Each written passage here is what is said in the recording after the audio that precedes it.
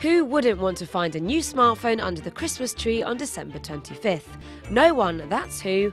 And we've rounded up five phones to suit everyone's tastes and budgets. If these don't get you into your loved one's good books, nothing will. The Sensation XL was built with Dr. Dre's Beats audio tech to make your music sound better.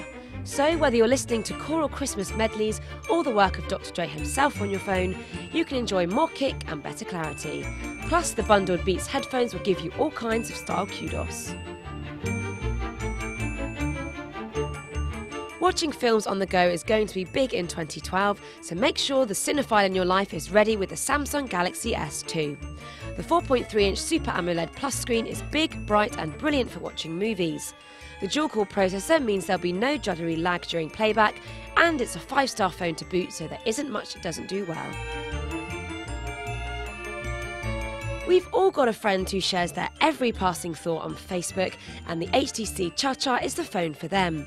With a full keyboard for tapping out comments at lightning speed and a dedicated Facebook button for those essential quick-fire poking sessions, the Cha-Cha might not have the coolest name around, but it's the closest you'll come to a true Facebook phone this Christmas. Whether your gift recipient is into hardcore gaming like Infinity Blade or just passing time on the train with tiny wings, the iPhone 4S will keep them happy. The graphics are seven times faster than its predecessor, and there's a galaxy of apps to choose from. But you'll have to really, really love this person because the new iPhone ain't cheap. Prices start at £499.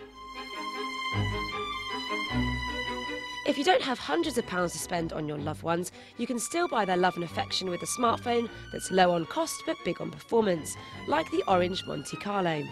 This four star phone is around £100 and offers a big screen, Android OS, and more grunt than you'd expect for the money. Just remember to get a micro SD card too, though, because the built in memory is a little on the skimpy side.